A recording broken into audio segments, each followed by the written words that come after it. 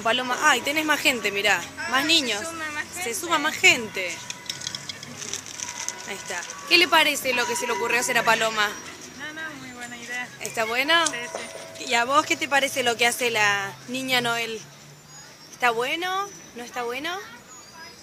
¿No sabes? da vergüenza. ¿Ustedes también vienen a buscar su caramelito o ya tienen? También. Bueno, y vemos como Paloma se ha, con- ha conquistado toda la plaza, San Martín y todo el parque.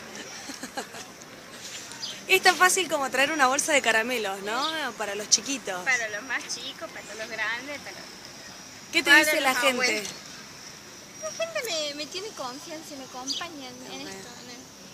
Paloma, ¿nos hablas de la enfermedad? ¿Cómo se pronuncia? Hidrocefalia. Hidrocefalia. Se pronuncia... eh, De esa manera, sin el de acento. manera, Sin el acento. H intermedia. Bien. Eh, y la hidrocefalia vendría a ser... a mí se me descubrió a los 8 meses. Eh, me pusieron primero una válvula, después eh, un, la primer recambio valvular, el segundo recambio valvular porque ya no andaba bien, después un tercer recambio valvular porque tampoco andaba bien, y el cuarto recambio Sí. valvular eh, fue que mi mamá eligió la mejor válvula porque lo que estaban dando eh, era un era una cosa como decir era todos los años un recambio valvular eh, distinto. Era más complicado como que era algo trucho O sea, los primeros 10 años de tu vida, por generalizar, fueron en, entre operaciones y hospitales, sí, hospitales en operaciones era una cosa como que sí, y después, bueno, mi mamá eligió la mejor válvula, tuve que elegir la mejor válvula para que yo esté bien.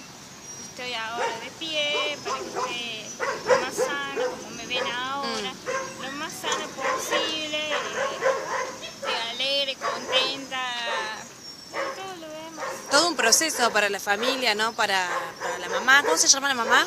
Irma Sí. Esther Martínez, La seño. la sé. La seño, este, Señor Perla. Perla. La seño Perla. Toda una guerrera tu vieja. Toda una herrera al lado mía siempre. Mm, siempre. ¿Y han sido siempre ustedes dos solitas? Las dos solitas, Toda la vida. toda la vida.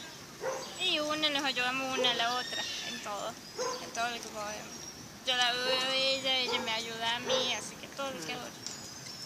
Me decías que tus primeros años de vida, incluso hasta un poco más grande, era muy difícil llevar adelante la, la enfermedad, que tu mamá te ayudó mucho, que era difícil hasta sentarte, me dijiste. Claro, como que me costaba sentarme, me, como me caía, me, como que me costaba más apoyarme. No tenías, el, digamos, un desarrollo físico que te ayudara. Y mucho hasta que yo ya me desarrollé y ya me. Ya quedé ya desarrollada y bien sentada. Bien, bien sentada. Y ahora andás en bici y todo. Ahora ando en bici. Y hasta tenés trabajo, digo, es todo un Trabajo, ejemplo para... sí. Un trabajo eh, bien. Bien.